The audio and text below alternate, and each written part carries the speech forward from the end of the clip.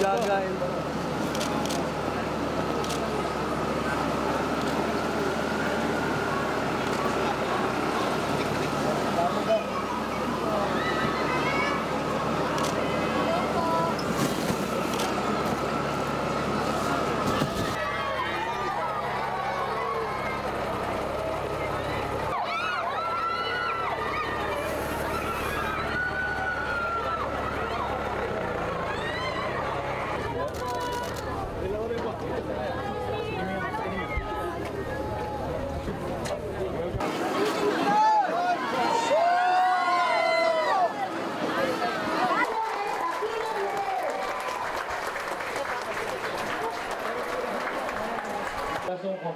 Gandang hapon sa inyo lahat.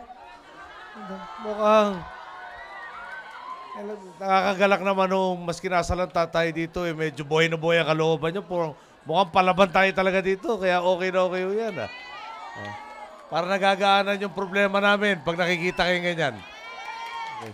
Anyway, nagpunta kami dito kasama ng marami ho tayong kasama, no? Secretary Mar, si Congressman Sani Angara, si Rizon Tiveros, si Joel Villanueva, Si Manong Ompong Biason, Congressman po nyo. Si Rupi Biason, ng Customs, dating Congressman nyo.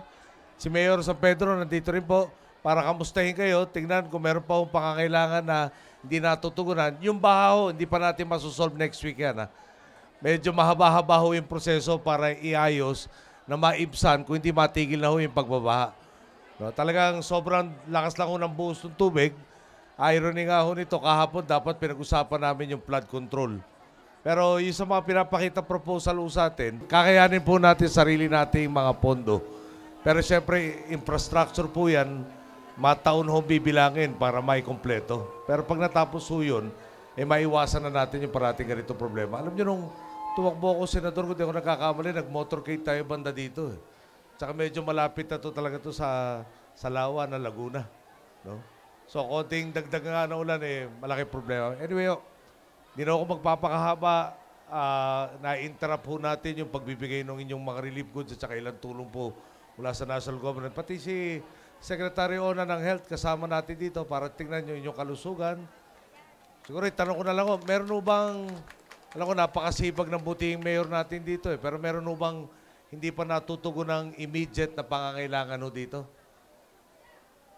Okay naman ho kayo? Huwag lang ho tayo magpapakababad doon sa baha. Meron ho mga maiwasang sakit. Mukhang may kuryente pa naman ho yata. Tubig nyo, okay rin ho. Okay, so habang nandito ako, baka naabala ko nga ho yung pag- pagbigay sa inyo ng ating mga konting tulong. So hanggang dito lang ho ako muna magsasalita. At ah, gusto ko lang ho pabatid sa inyo. Lamang kayo ng aming isip at puso na talaga siguraduhin nasa maayos ang kondisyon ng lahat ng mga boss natin. So magandang hapon ulit sa inyo.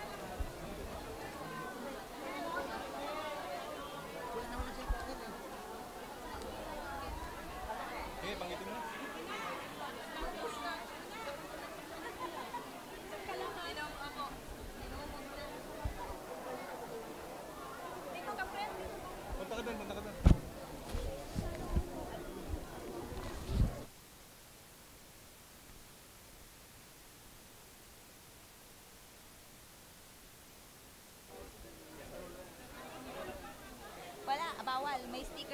dapat. Push na Evelyn, push na ba, sir? i-announce lang natin that the Ah, meron tayong sapat na relief goods na dito sa ating barangay. But our the president will be just distributing about 50 or 25 and then after that he will be leaving to another evacuation centers. at magpapatuloy yung pag-distribute ng ating mga relief goods. Salamat po sa inyo lahat. Number mo? Salamat po.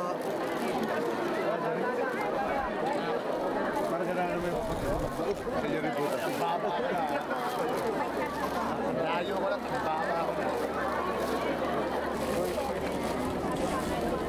Kunti lang, para makatapos yung lalabas.